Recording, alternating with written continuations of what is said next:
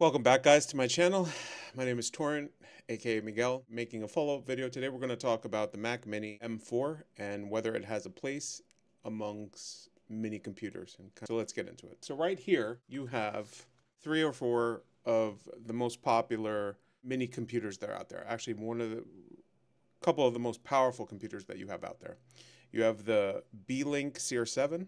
This one is the 70 7840 HS uh, this comes in around 640 bucks.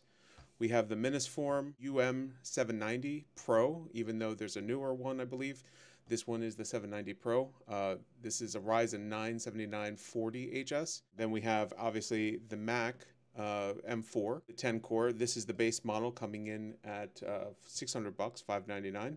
Uh, the most basic 10 core, 16 gigs of RAM, 256 gigs uh, gig Ethernet. Then we have uh, this tank of a mini computer slash workstation. I don't even know if that should be considered a mini computer at this point, but it is almost the same form factor, maybe just a little bigger, obviously.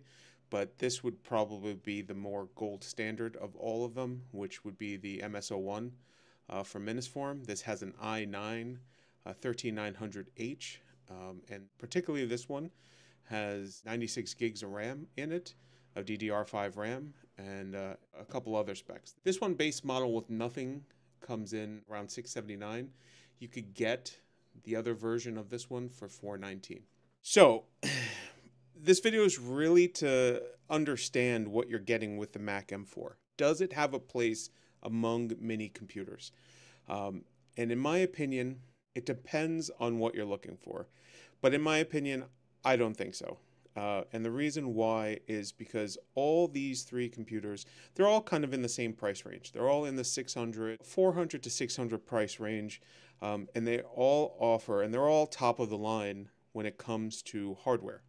Um, they, each and every one of these, and in my opinion, the MS01 is the most capable of them all.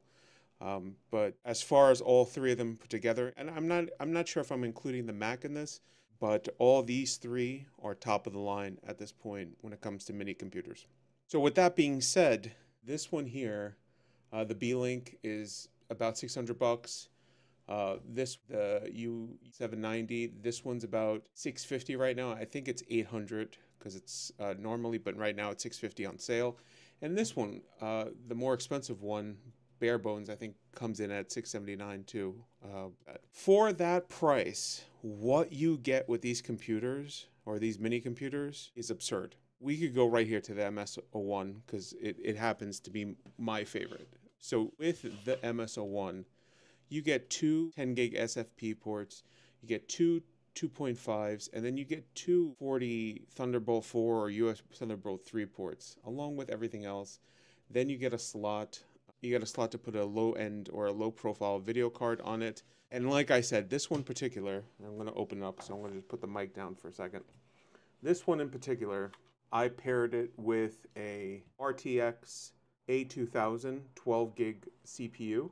Uh, I bought the extra cooler here uh, to make it a low profile, but I put it in to this machine and this machine, pairing this with this video card, 96 gigs of RAM, with i9 13, uh, 13900H, I believe it's in it. Uh, it's just a beast of a computer. Um, now, obviously, with the video card and everything else in it, it, it probably ran me close to maybe 1800 bucks, uh, close to around that, $1,800, $2,000. Uh, is it fair to compare it to the Apple? Yes because one, Apple did throw its hat in the ring when it came to mini computers, so it is a mini computer or a mini PC. So it's fair to say. But I believe on the high end of the Mac M4, uh, obviously you could price it out. Um, I believe it comes up to almost four grand for the high end of the Mac, but the specs nowhere come close to this MS13. And again, the specs at these price range on bare bones, they still these computers you get a lot more hardware, a lot more bang for your buck when you go down these routes instead of the Mac M4.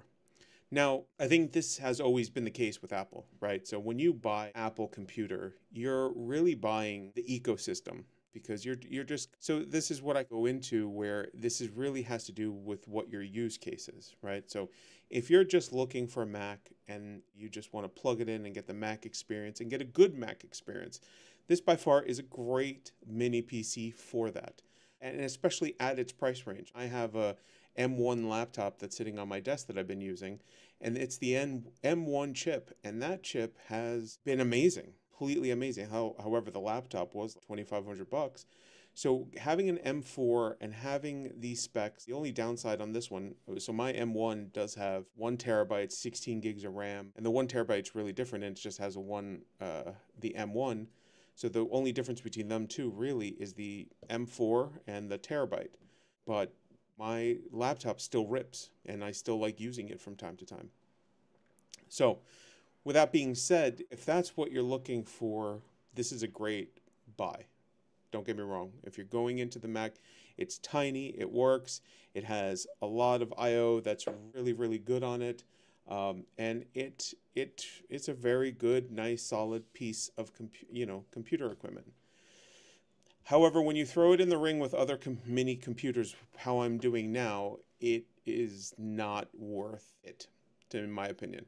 I could load Windows to server on any one of these. I could load Ubuntu. I could load, I could take it apart. And like in this case, I could take it apart, put 96 terabytes and 96 gigs of RAM, DDR5 RAM, three NVMe's in it with a badass video card in it. Um, I can't really do the video cards with these two, uh, but I could do the RAM and I could do the SSDs. And the versatile of loading whatever operating system I want on it and using it for different things at different times.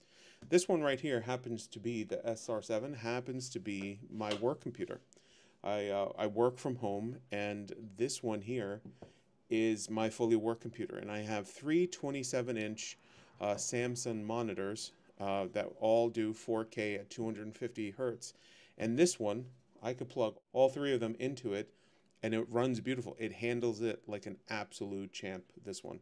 And I never had a problem with any of this, any, any lag whatsoever. Uh, but I've been using this for a better part of the week. Um, and I just wanted to make a quick video because I did do an unboxing on it and I was not impressed. The build quality compared to these other ones feel about the same. Don't get me wrong. They all feel, this one feels a little bit more premium. This one probably feel the premium because it, it, it really has a metallic feel.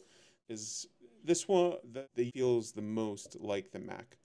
Uh, these two feel more premium and these two kind of same, if that makes any sense, if any of you have that.